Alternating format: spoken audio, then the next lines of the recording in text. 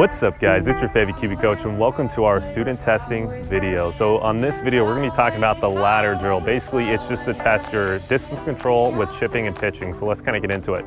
So the first thing we're gonna have to do is designate a location, all right? So what I like to do is we're gonna go to the fringe right here and we're gonna step off two yards, one, two, and that's gonna be our first location. So I'm gonna put a golf ball right there. Now for the second location, I like to have right around three steps to four steps make it around 10 yards. So we're gonna step off that. One, two, three, roughly right around 10 yards. We're gonna place our second golf ball right there. So now that we have our two locations, let's go hop over here and kind of take a look at what I got here. So this is gonna be the actual ladder system. So what we do is we start from the fringe and we're gonna walk off two yards for each location. So it's gonna be one, two, one, two, one, two, one, two. Cool, and that's pretty much the setup right there, guys. Pretty easy, straightforward stuff.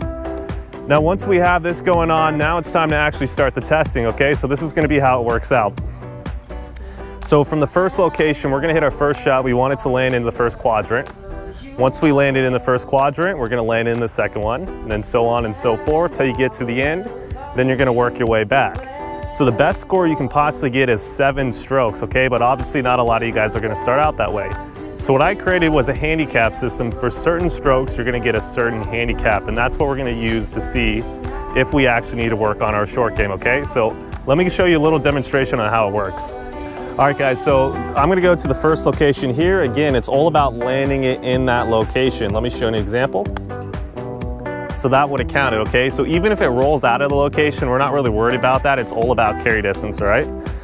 Now, if you want to make this drill a little bit tougher, I'll leave some documents to where you can actually start messing around with different trajectories. But for the sake of this drill, when we first do our initial testing, let's just keep it to a simple little kind of low flighted to mid trajectory shot. So let's get into that second location.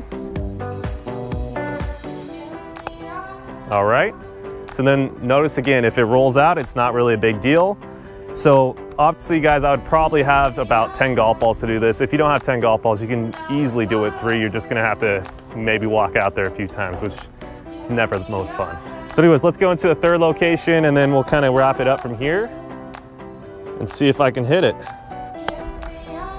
All right, not too bad guys. So then from there, what I would do is work my way back and then finish up. Hopefully I would have got seven. I practiced enough times where I've gotten seven a couple times, but Again, guys, hopefully you like this drill. And again, have fun out there.